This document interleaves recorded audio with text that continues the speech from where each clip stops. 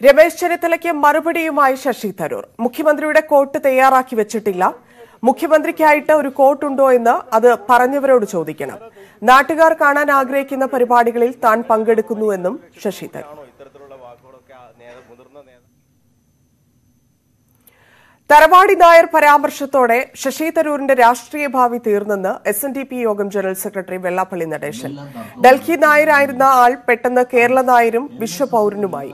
ഈ പറഞ്ഞ വിഭാഗം മാത്രം വോട്ട് ചെയ്താൽ തരൂർ ജയിക്കുമോ എന്നും വെള്ളാപ്പള്ളി ചോദിച്ചു. സ്പോർട്സ്.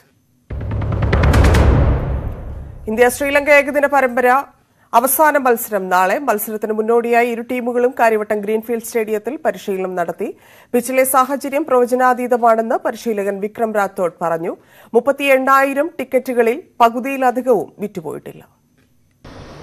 ഉച്ചയ്ക്ക് പന്ത്രണ്ടരയോടെ ഗ്രൗണ്ട് സ്റ്റാൻഡപ്പ് ഇന്ത്യ സ്കീമിൽ നിന്നും ഒരു കോടിയോളം രൂപ ലോൺ എടുത്ത് സ്വന്തമായി ഒരു ബിസിനസ് തുടങ്ങാൻ ആഗ്രഹിക്കുന്ന വ്യക്തിയാണോ നിങ്ങൾ? എങ്കിൽ ഈ ഫ്രീഡം ആപ്പ് ഡൗൺലോഡ് ചെയ്ത് അതിനെക്കുറിച്ചുള്ള പൂർണമായ വിവരങ്ങൾ നിങ്ങൾ വ്യക്തമായി മനസ്സിലാക്കും. ഇതിലെത്തിയ ശ്രീലങ്കൻ ടീം നാല് മണിവരെ പരിശീലനം നടത്തി. ബൗളിംഗ് പരിശീലനത്തിനാണ് ലങ്ക കൂടുതൽ സമയം ചിലവഴിച്ചത്. കളിയിൽ ഇന്ത്യയ്ക്ക് മുൻതൂക്കമുണ്ടെങ്കിലും കാര്യവട്ടത്ത് ജയിക്കാനാകുമെന്ന് ശ്രീലങ്കൻ കോച്ച് പ്രത്യാശ പ്രകടിപ്പിച്ചു. But equally we have some very good spinners who will will benefit from this experience. When they come back for the World Cup, they will know what lengths to bowl, what know what lengths they have to or what lines they have to hold. സമ്പൂർണ ജയമാണ് ലക്ഷ്യം ഇനിയും ചില മേഖലകളിൽ മെച്ചപ്പെടാനുണ്ടെന്ന് Indian batting പരിശീലകൻ വിക്രം റാത്തോഡ് പറഞ്ഞു Clarity, I think 20 games are more than enough, you know, to, to work on those certain areas. We've been, we've always been a good uh, 50 over format team, so just some areas to fine tune, and I think 20 games are enough to do that. Ticket വിൽപ്പന തുടങ്ങി ദിവസങ്ങൾ പിന്നിട്ടിട്ടും മന്ദഗതിയിലാണ്.